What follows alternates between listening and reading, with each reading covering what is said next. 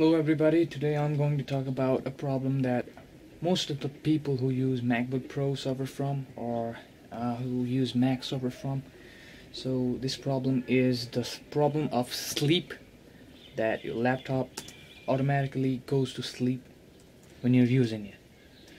And this problem is one of the most irritating one because uh, if you're like taking your laptop or switching the workplace of you then if you want to uh, you know switch the places and yeah if you want to do is take that so you can see that it goes to sleep automatically.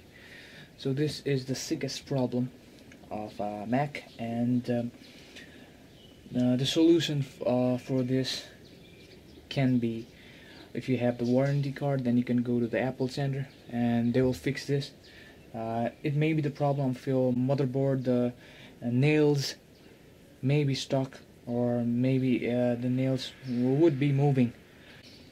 Uh, so uh, you can see my uh, Mac goes to sleep.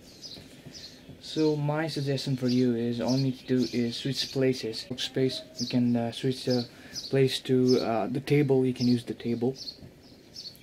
Or you can just make sure that you don't have magnetic materials around your Mac because if you have magnets around your Mac then you'll go to sleep automatically.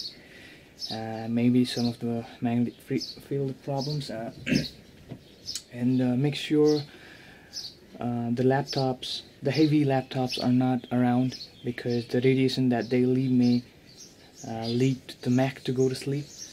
Make sure the uh, chargers you know the heavy adapter chargers are not around your Mac? You have to make sure uh, of all the uh, points. And uh, these are it. All I need to say is this much.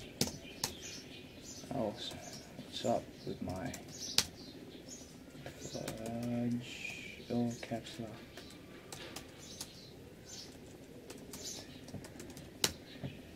This is it